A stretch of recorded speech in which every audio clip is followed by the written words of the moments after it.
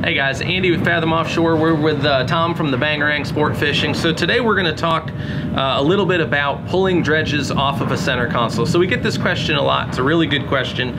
Um, and there's a lot of different answers and variables, but let's kind of talk about what we do specifically. So one thing right out of the gate is um, when you're pulling off of a center console, weight is a really important issue. Whether it's weight of your, uh, your fish weight, your trolling lead, uh, really how you're getting the dredge down, and the weight and drag of the dredge itself. So uh, one thing that we do here is what we consider to be our uh, bucket dredge. So this is a 12 by 12 um, dredge frame bucket dredge that we use that's really perfect for center console setups. There's not a lot of dra uh, drag in the water. It still gives you a really good profile. It looks like a lot of um, kind of, you know, squids or fleeing bait fish um, and really kind of has the overall effect of a large dredge just in a really small kind of compact scale. So it's easy to store, it's easy to pull.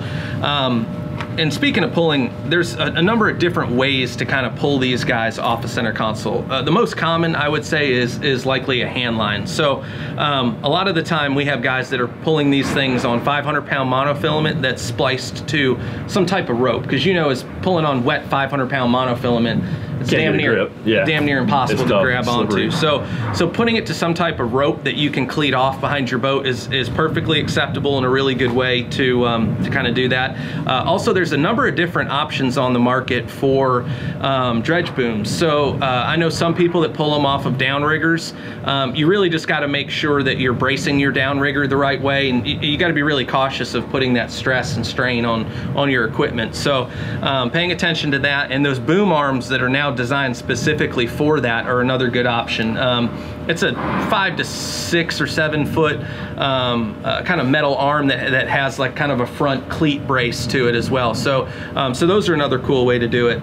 Um, and as far as weight to get the dredges down, uh, we do offer four pound fish weights. Um, and we also know a lot of people that use uh, ball bearing um, uh, trolling bars as well, similar to your high-speed Wahoo stuff. It's mm -hmm. it's getting you the weight without really the drag because mm -hmm. that's really the issue. The weight will keep it down, um, but it's the drag that's kind of the bear when it comes to getting yeah, the dredge back in. It up. Yeah, 100%. So um, how far are you typically running a dredge kind of behind, you know, one of your boats? Um, for something like this on the center console, I wouldn't think you need to run it too far. Um, the most important thing is going to be making sure it's far enough back and far enough out. And I know that's tough with, with a center console, but just keeping your dredge in the blue water, in that clean water, mm-hmm. and keeping it far enough or, or, close enough in to where you can still see the dredge and see what's in the dredge or behind the dredge. Um, and yeah. also being able to get it in quick enough if you do get a fish in the dredge. That's very important. So. Yeah, it's not like a, a bait that's going to sit there and pull line when you get a fish in it. So if you can't see it, then you're not effectively fishing uh-huh. fishing the dredge, and that's yeah. that's really the big thing. We're seeing on center consoles a lot of time that that distance varies, but anywhere between I would say 18 to, to 28 feet. Typically that 20 mm-hmm. foot distance is, is usually a good kind of benchmark to start with. And if you can't see it, you need to bring it closer. Um, and so hopefully this information helps. Uh, we're always available by phone or if you got additional questions, drop them in the comments below. Uh, we know that all boat setups are a little bit different. Everyone's fishing a little bit different method, but um, we're always happy to help and kind of help dial it in based off your specific needs. So give us a call. Thanks so much.